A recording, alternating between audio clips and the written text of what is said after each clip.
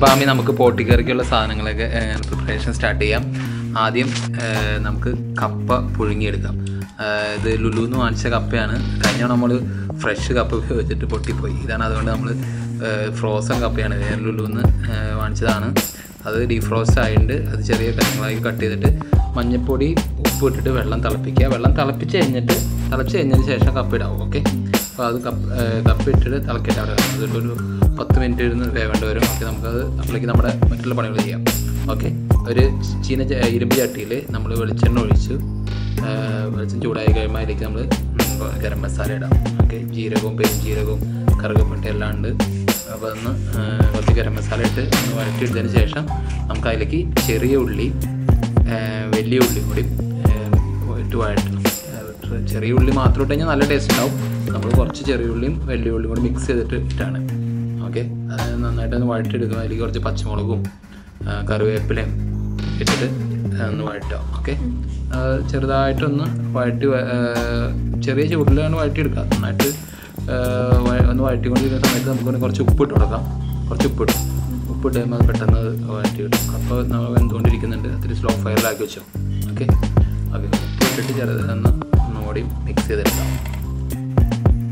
Okay ഇപ്പോൾ നന്നായിട്ട് ഒന്ന് വഴറ്റി വഴറ്റി വന്നുണ്ട് നല്ല ഗോൾഡൻ ബ്രൗൺ ആവണ്ട.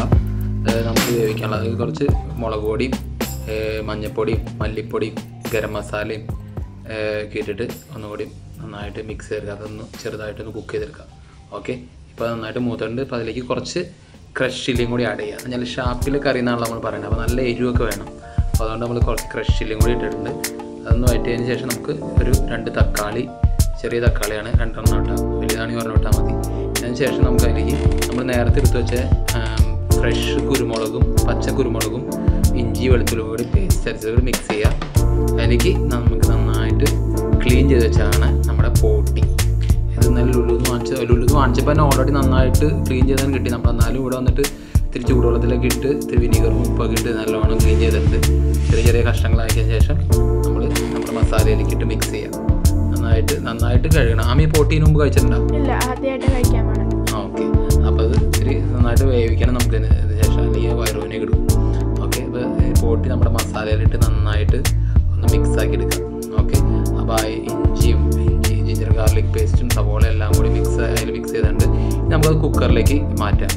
ഓക്കെ കുക്കറിലേക്ക് പോട്ടി എല്ലാം കൂടി ഓക്കെ മസാലയും പോട്ടിയും എല്ലാം കൂടി മിക്സ് ചെയ്തത് നമ്മൾ നമ്മുടെ കുക്കറിലേക്ക് ഇടുന്നു. കുക്കറിലേക്ക് ഇട്ടതിന് ശേഷം അത് കുറച്ച് ഒരു വെള്ളം ഒരു ഒന്നര ഗ്ലാസ് വെള്ളം ഒഴിച്ച് കൊടുക്കണം. ആ ലെവലിൽ നിൽക്കുന്ന രീതിയിൽ പാകത്തിൽ വെള്ളം ഒഴിച്ച് കൊടുക്കുക ഓക്കെ എന്നിട്ട് നമ്മൾ അടച്ച് ഒരു അഞ്ച് വിസിൽ കേൾക്കണം. നന്നായിട്ട് അഞ്ച് വിസിൽ കേട്ടിട്ട് ഒരു പത്ത് മിനിറ്റ് അങ്ങനെ തന്നെ വയ്ക്കാം അപ്പോൾ നമുക്കിപ്പോൾ തൽക്കാലത്തേക്ക് കുക്കറിലേക്ക് ഒരു അഞ്ച് വിസിൽ കേൾക്കണ വരെ. ഓക്കെ നമ്മുടെ കപ്പ നമ്മൾ വെന്തേണ്ടത് ഊറ്റി വെച്ചിട്ടുണ്ട് നമ്മൾ തേങ്ങാപ്പാൽ എടുത്ത് വെച്ചിട്ടുണ്ട് ഒരു ഒരു തേങ്ങയുടെ പാൽ എടുത്ത് വെച്ചിട്ടുണ്ട് ഇപ്പോൾ നമ്മുടെ കപ്പ് ആയി അല്ല നമ്മുടെ പോട്ടി റെഡി ആയിട്ടുണ്ട്. തുറന്ന് നോക്കുമ്പോൾ നന്നായിട്ട് കുക്കായിട്ടുണ്ട് ഗ്രേവി കാര്യങ്ങൾ നമുക്ക് ഞാൻ ചീനച്ചട്ടിലേക്ക് ചീനച്ചട്ടിലേക്ക് തന്നെ മാറ്റാം. അത് ഒഴിക്കാം. ഓക്കെ കുറച്ച് ഗ്രേവിയൊക്കെ അതിലുണ്ട് നന്നായിട്ട്. അപ്പോൾ നമ്മൾ വെന്ത പോട്ടി മസാല നമ്മൾ ചട്ടിയിലേക്ക് ഒഴിച്ചിട്ടുണ്ട്. നന്നായിട്ട് തിളച്ചുകൊണ്ടിരിക്കുകയാണ് വെന്തിട്ടുണ്ട് നന്നായി അടിപൊളിയായിട്ട് വെന്തിട്ടുണ്ട്.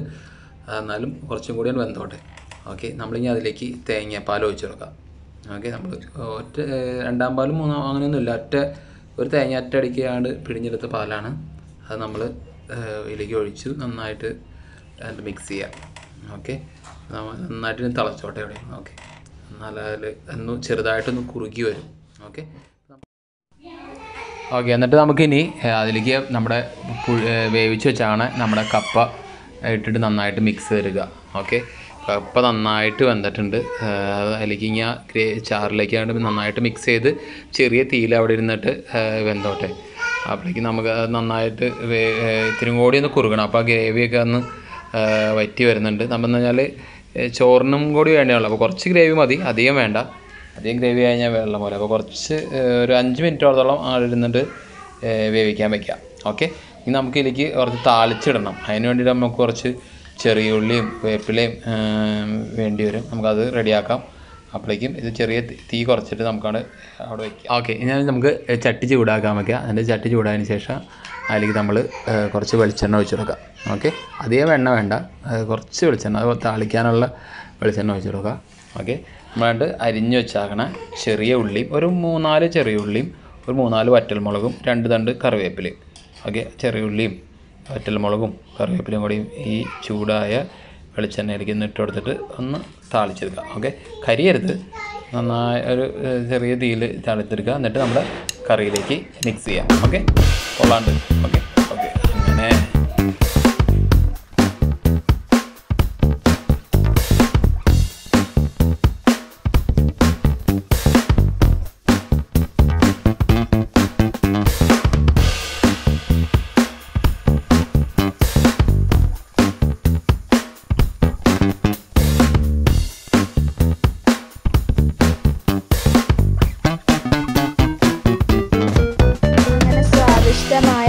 സ്പൈസി ആയ ഷാപ്പിലെ കപ്പയും പോട്ടിയും റെഡി ആയിട്ടുണ്ട്.